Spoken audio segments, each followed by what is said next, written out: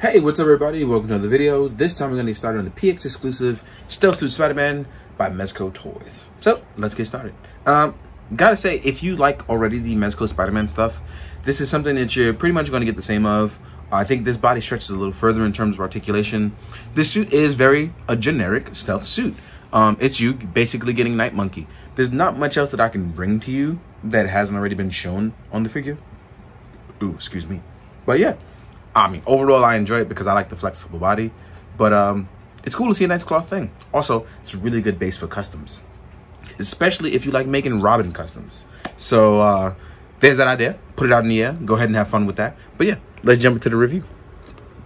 Our main man, Night Monkey, comes with our, our basic goggles that actually can move up and down. So you actually get some eyes there. Let me see if I can. There we go.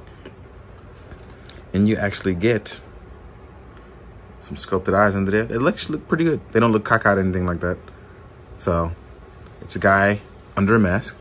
And the lens actually folds down.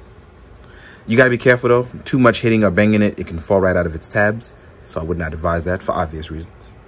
Articulation wise, we can go up, we can go down, we can do left and right, all that good jazz. Get a little expressive by turning sideways. Hey, hey, where's my money? Night monkey. You know, all that good stuff. But our arm wise and articulation, this is where it gets kind of fun because I've been noticing that they've been making a little bit more room in the suits. I think the only gripe that I'm definitely having is that the bunching of the suit is caused by some stuff here in the back. And I'll get to that in a second. Let me just fix that focus. There we go. But yeah, we have bicep swivel. We are double jointed, which is very nice. Everyone loves double joints. It's like their favorite thing ever. There's a little bit of a butterfly joint that allows you to fold forward. So keep that in mind as well too. As you can see there, it folds forward. Um, I think, yeah, yeah, there is a butterfly joint there. Ooh, that's actually pretty nice. It's pretty strong too. So we have our ab crunch, which again, second people's favorite thing. and as you can see here, you can paint him like one of your French girls if you really wanted to. You can put the legs down. You have your bicep swivel, which rotates left and right. We have our double joints, which are always fun in the legs. We don't have super generous ankle pivot, but it does tilt in very nicely. That fits pretty well for this Spider-Man, I believe. Um, Mezco Strong Suit is not necessarily always the ankle pivot, but I like to make it work with what I have. I'm not one of those people that's going to gripe on it. Everyone has their styles. But it does work here pretty well with Night Monkey. Maybe not completely so that it sits flush, but it works well enough. Let's see. Yeah, so you can't see it, so let me back them up a little. But you will see that that foot is not planted.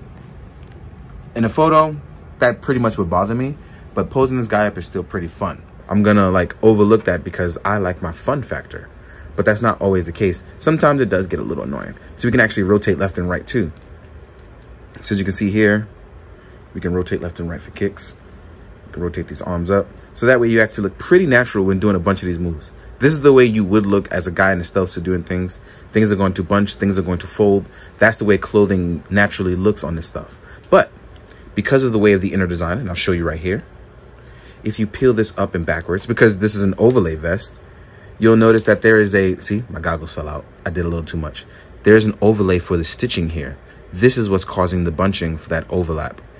So if it looks like it's bunching, that's because that is actually folding up upon itself. So in between photos, what I'll probably do is I'll probably make sure by sliding it down and sliding the belt over so that it comes through to reduce as much bunching as I can and then use tweezers to pull it down. That is because in the front, the uh, the front of the suit, it's glued to the bottom of the belt. So it reacts to the belt. So as you can see here, pulled all the way down, there's a lot less bunching. It's gonna do that anyway though, because again, those folds are right there. So Hopefully that helps you guys. Actually, I kind of like Night Monkey without the goggles right now. So let's leave those off for a second. I really like the way this suit looks though. It just really works well. So now we're gonna jump into the accessories. So let's get to that. Whew, that was a lot. So accessory wise, we will get our unmasked head, which is him getting beaten up. But it's actually a pretty good sculpt. I, I, I don't mind it. It definitely has a Tom Holland look to it and look feel. It's a little soft on the paint apps, and I just think that's an overall thing. But again, a good painter has shown that the detail is all there. It's really just a matter of how it's painted. But I actually think this works out pretty well. This one actually looks pretty solid. Night Monkey. So, then we get our staple stuff, which is the the Spider-Man effects that we always get, but you'll have your movable web. This one actually can be, oh, it knocked down Spider-Man. so this one actually moves around.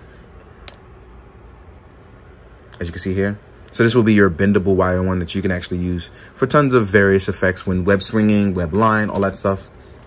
You will get a thwip face or reaching out web. This is a soft plastic, but obviously not too crazy soft. It can still break or snap if you do a little too much. Then you have a long thwip for your web shooters. And then you will get the face mask one, which obviously you want to use for when you're hitting up bank robbers and things like that. This will be a good effect when you are doing any sort of uh, you outnumbered photos, like any type of army builder versus Spider-Man photos, which be pretty solid, especially for Night Monkey. Then hand accessories, you'll get your web swinging hands. You will get your you'll get your uh, right action hand and your left crawling hand. And then you get two thwip thwip hands, web shooters. And that about wraps up all he comes with, which is pretty cool because if you've gotten all the other Spider-Man, you're probably going to mix and match stuff, create your own brand new Spider-Man, or even create a symbiote Spider-Man from this. Because you never you never know. You can you can do a ton of different things with this. And this is kind of what, what certain people like I think customizers are pretty much waiting for. Unless you're a big Spider-Man fan, then you're probably gonna get all of them. But this by far is probably the most flexible body outside of the homemade suit body, I believe. But I'll have to test that when I put them next to each other, which I'm actually about to do right now. So let's get to that. All right, all right, now it's size time. So I was debating on whether or not I do stealth suit first or with other Spider-Mans first. But I think it's only fair that I do stealth suits first. So I'm gonna compare it with the SHF stealth suit. And then we're gonna do the Marvel Legends stealth suit. And then the Mafex one is not out yet, so we can't compare that one just yet. Oop, almost dropped a bunch of toys. So here we have these guys. And I think all are good in their own rights, especially for the price range and depending on your preferences. So for instance, we have the Marvel Legends here, which actually looks good in a nice semi-gloss black. And it came out way before the other one, so that was your choice. But you think that the head is a little too small. But overall, you actually get something pretty nice here for 20 bucks. It's very articulated. Then we have SHF in their style, but they suffered from that arm issue and everyone was scared to buy this. But this actually turned out to be a pretty good toy. And if you prefer the SHF articulation, you might be happy with that. And then now we have the Mezco one, which is soft goods, has a mix of between the aesthetic and the articulation, but not the best of both. So it's kind of one of those things where your preferences are going to make you go, which one do I really like? So yeah, you decide for that one. Um, I think height-wise, I'm definitely thinking the SHF serves the best.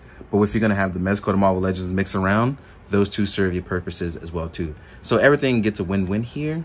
I think, ah, that's just how I feel. Eh, whatever. But yeah, let's compare it to other uh, Mezco Spider-Man. So here we have, oop, knocked my own thing down. Here we have the homemade suit, right? Then we have the tech suit.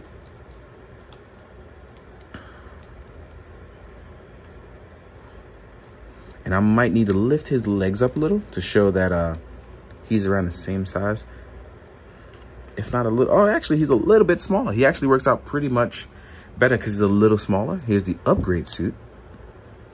And my upgrade suit has been sitting here and actually, it was actually in a flight pose for the longest time. So his legs are pretty stiff.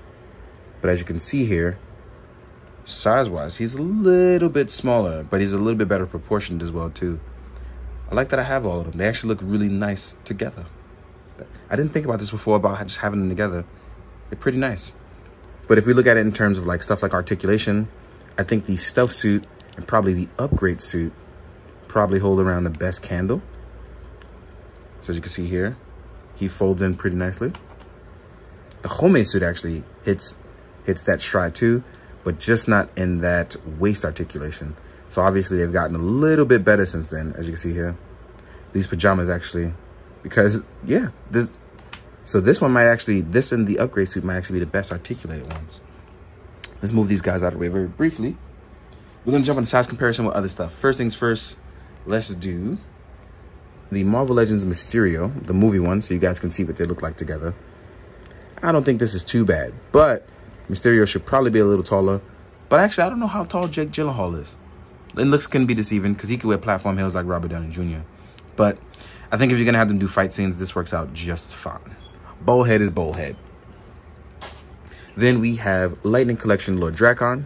This is from the 6-inch Lightning Collection series.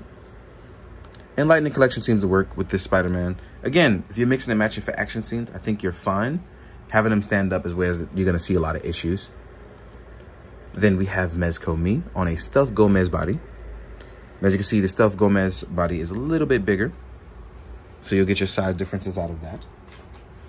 We have the G.I. Joe Storm Shadow. Only slightly bigger than the that of Spider-Man. We have the Mythic Legions Tibius, which is actually bigger than both of them. Then we have, let's do an artic. Oh, sorry, I don't even have a ninja with me. Mm, that's gonna suck. Here we are with a 1000 toy synthetic human. Next up is a SH Figuarts Kamen Rider. I don't have any ninjas with me, y'all, so I'll probably do that in the picture after. And here we are with the SHF Kamen Rider. Let's sit those feet flat. So yeah, he's one of those guys that kind of sits in the middle because it's supposed to be the teen body when you compare it to other Mezcos, he's obviously bigger than a bunch of other stuff, but it's still smaller than six inch lines like G.I. Joe Classified and Marvel Legends stuff. So it depends on how you want to go about this, guys. If you like mixing and matching, I think you'll be fine. If you're sticking to a particular brand, you may also be fine, and this may not be the choice for you. Overall, though, I do hope you found this informative. Hope you guys enjoyed the photos at the end. And as always, please be good, do good, drink your water, guys. Later.